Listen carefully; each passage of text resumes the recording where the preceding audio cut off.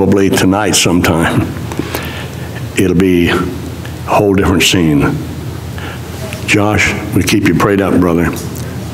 Now that's what Acts does.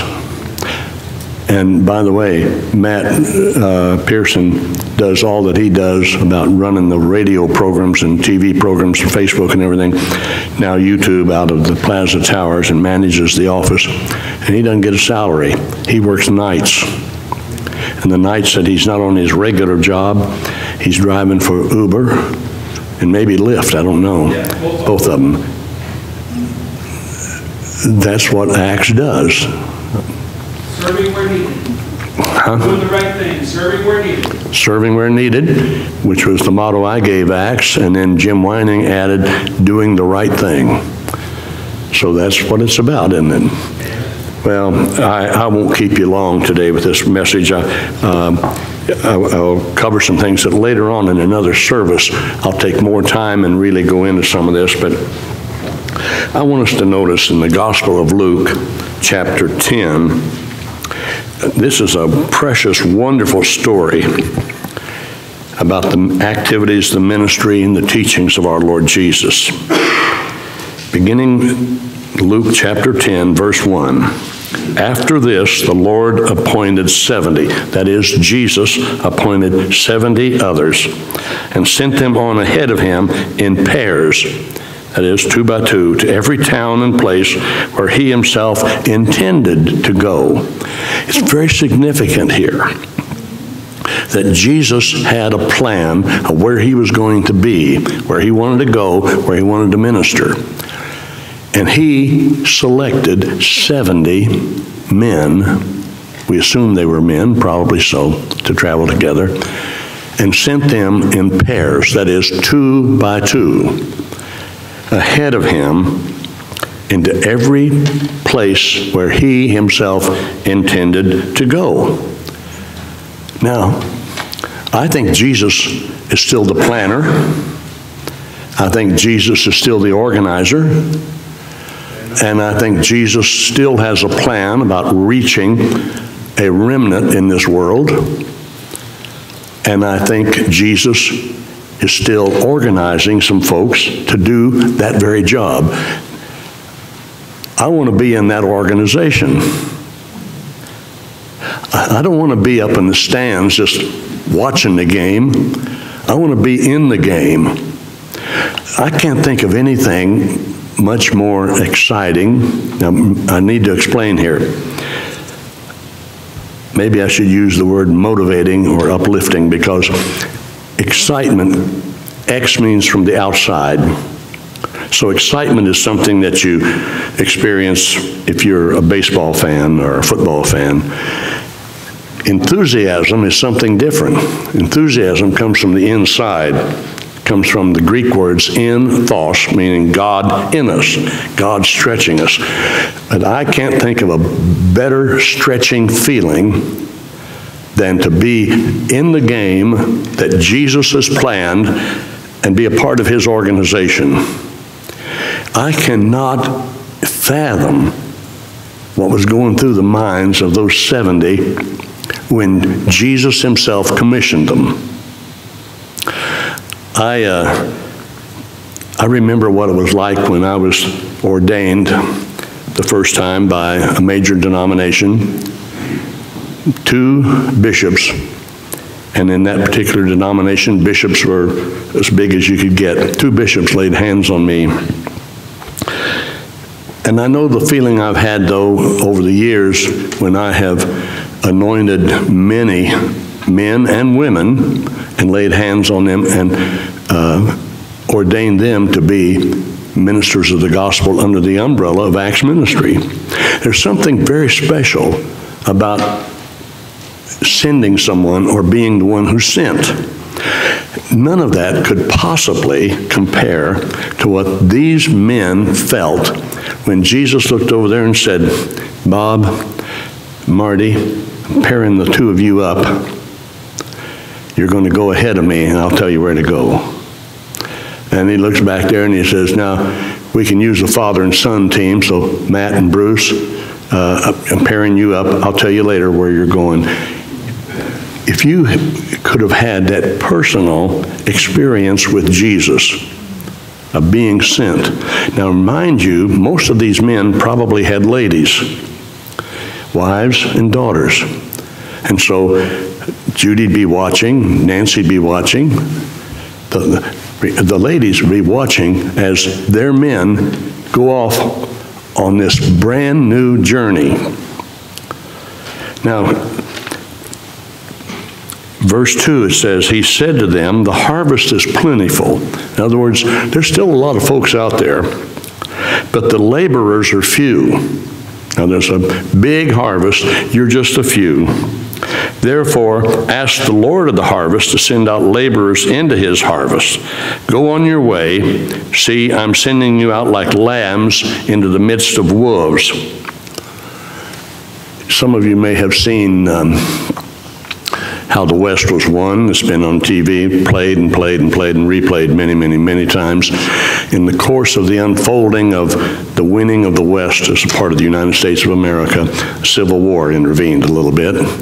And um, there were those who went off to war carrying only the kind of provisions that a wife or mother would pack for them and say, here's a little sack of food, and they wave them goodbye to go off and fight. Basically, that's what's happening here.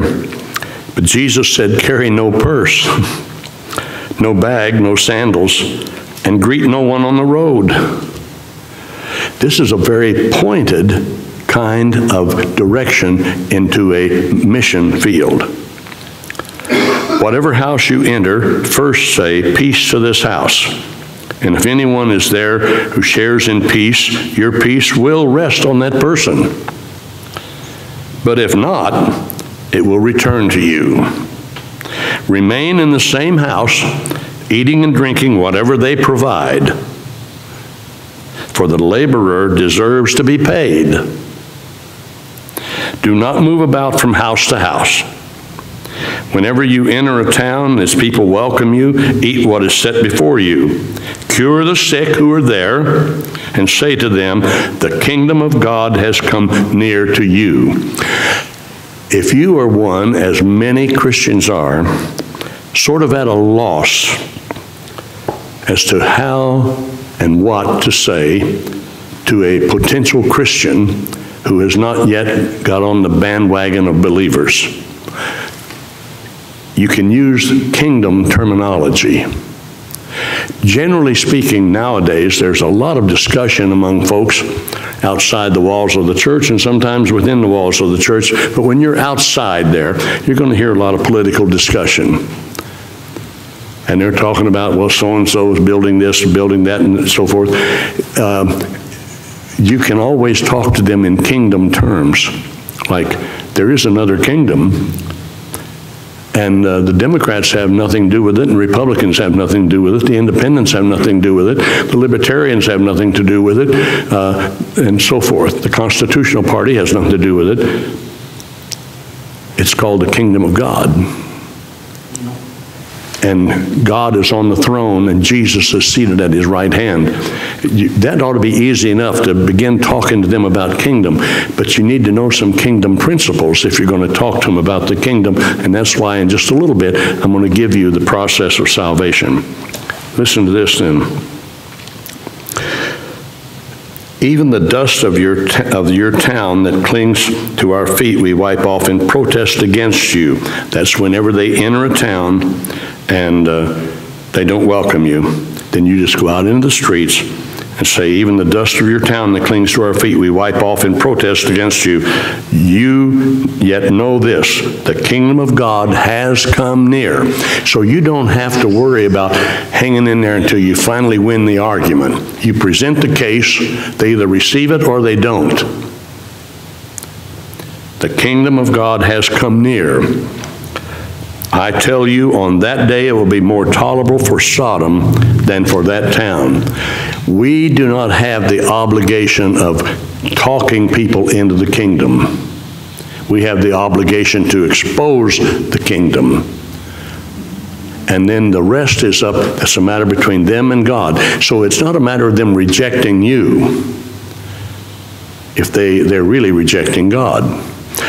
Bruce, I remember you've told many times about the Holy Spirit's turning you around and had you go into a bar up here on Highway 13 Yep.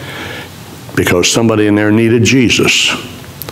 You didn't get an immediate response, but you did your job. The rest was up to those people.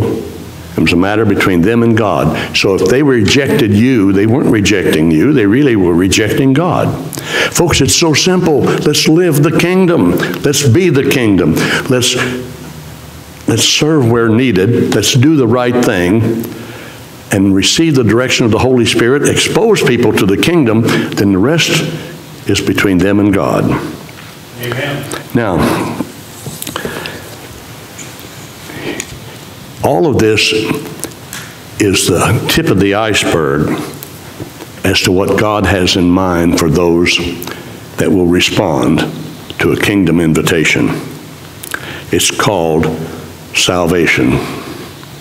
God has a process for that. I'm going to present it to you quickly, and then another time I'll go into some detail. But salvation really means deliverance, so that people get delivered from here to here, from one place in life to another place in life, from even from one cultural influence into another cultural influence, being delivered out of being steeped in the ways of the world and the sins of the world into the ways of the kingdom and the behavior of the kingdom. It is a deliverance process from here to here. The Apostle Paul said, Work out your salvation daily and do it with fear and trembling. Now, I recognize that we have some groups that think that, well, you get saved and that's the end of the story. Or you get saved and that's the beginning of the, of the new story, but you're not doing anything after that. I, I disagree with that. I think that some people get saved and stuck. And maybe they, they made a decision at one time, and then they didn't really follow through to be followers of Christ. And I could read to you in here where Jesus said, if anybody is really going to be a follower of me, they will do what I tell them. Salvation is a process made possible because Jesus put in place in the courts of heaven something called justification. That's a legal term. The just shall live by faith. We are saved by our faith. We are justified by our faith. Jesus put in place in the courts of heaven justification. And he is our intercessor. He's our intermediary. So justification has been put in place as a part of salvation. He did that because the world was lost because of the sin in the garden. Jesus came and redeemed all of those promises. We are a part of that redemption process. I don't know if any of you remember the days of uh, S&H green stamps, but if you could get a book full of those, were, you could trade them in, you could redeem the stamps for merchandise. Jesus is our Redeemer. He not only put in place in the court of heaven a justification process so that we're not found guilty of our sin, but He redeemed us. He made this possible by giving Himself to buy us back. In that process of us participating in redemption and not rebelling against it, but cooperating with redemption, then we become reconciled to God through Jesus Christ. So reconciliation is a part of the process of salvation, that we become reconciled. We're no longer enemies of God, but we become friends of God, even more so than David, who was called the friend of God. We are reconciled to God so that there is peace that exists between God and us. Therefore, the original intent that God had for us when we were brought into the world. Remember, He knew us even before we were in our mother's womb. The original intent has been restored. Salvation is a restorative process. Jesus spoke to Nicodemus and said, You must be born again. And Nicodemus said, well, How can a man, when he's old, go back into his mother's womb and come out and be born again? And Jesus had to explain to him what he meant.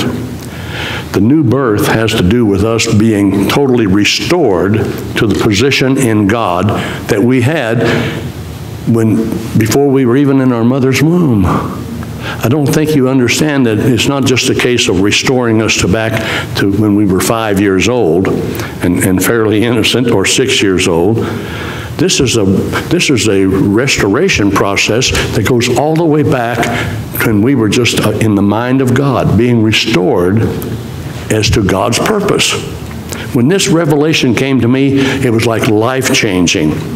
Jesus didn't die and set up a new deal in the courts of heaven and redeem me back and make this process of salvation so that, that uh, I'd be cooperative with him, be reconciled and all that, just so I could be six years old again.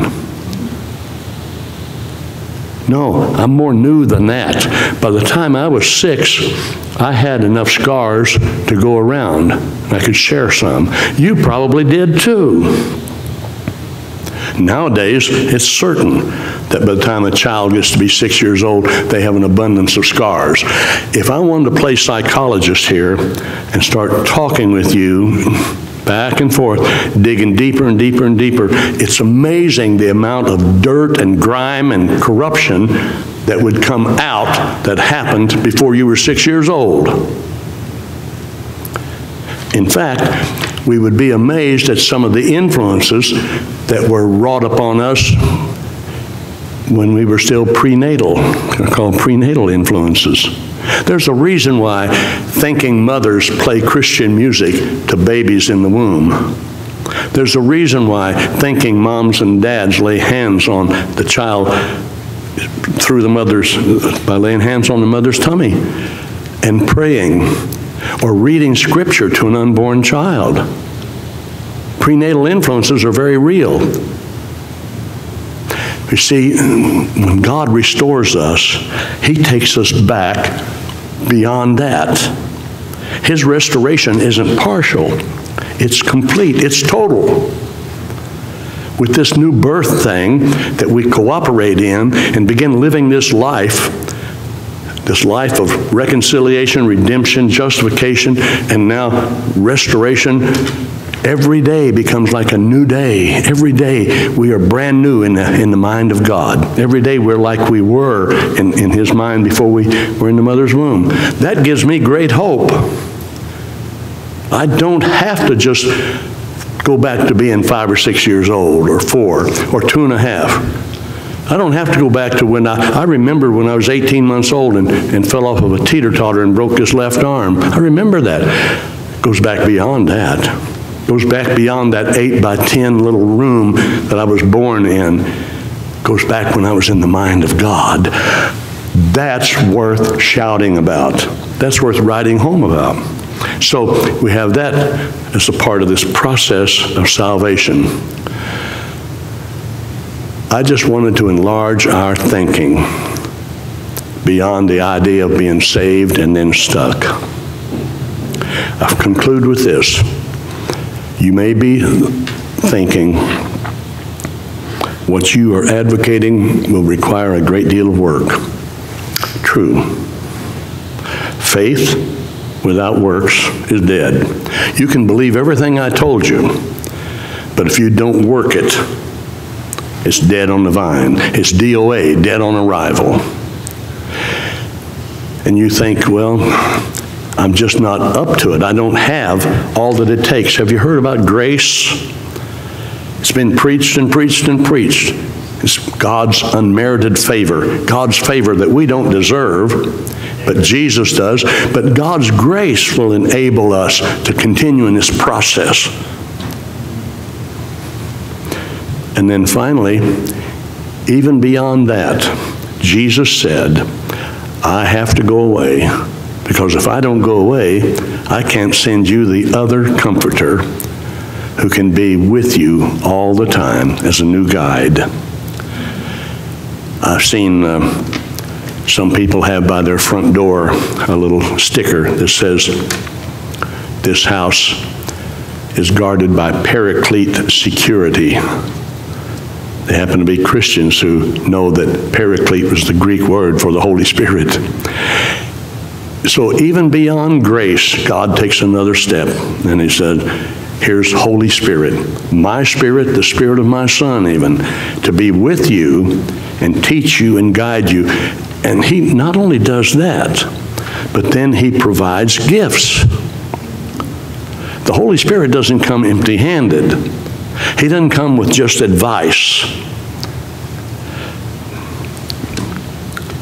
I don't know, but I can remember some, when I had some very trying times and I was a little weary of getting advice. I needed some gifts. And you may have been there too. You needed more than just an, an advice. So the Holy Spirit doesn't come empty-handed. Read 1 Corinthians chapter 12, and you'll find that there are nine gifts the Holy Spirit brings to help us in this process of salvation. He brings us wisdom and knowledge. He brings us faith, brings us healing, brings us miracles, brings us discernment, brings us prophecy, brings us tongue, tongues, and he brings us the interpretation of tongues. When it comes to tongues, there's nothing in the scripture that says you have to speak in tongues to be in the process of salvation. This is some of the icing on the cake. There's nothing in the scripture that says everybody that says they speak in tongues are really speaking in tongues. There's nothing in the scripture that says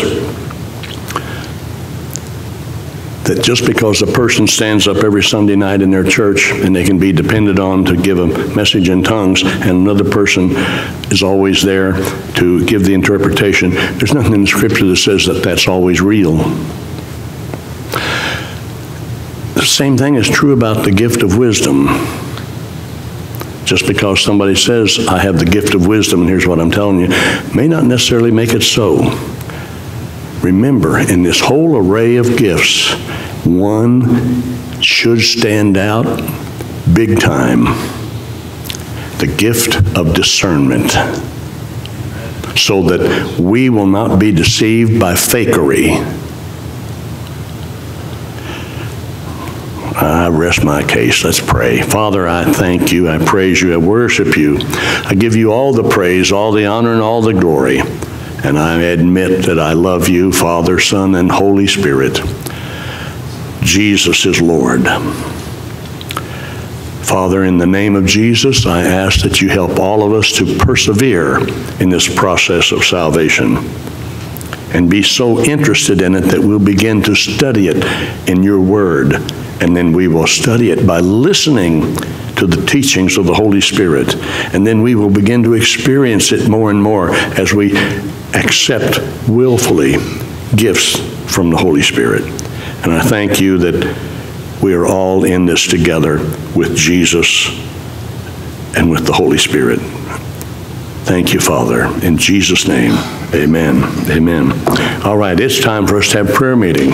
Are you ready for prayer meeting? Come on down, and Nancy will, will anoint people, and I'll lay hands on, and so will some others, and, and we'll believe God for the miracle you need or that your neighbor needs. You can always, you can always uh, stand in for your neighbor. So let's gather down the front.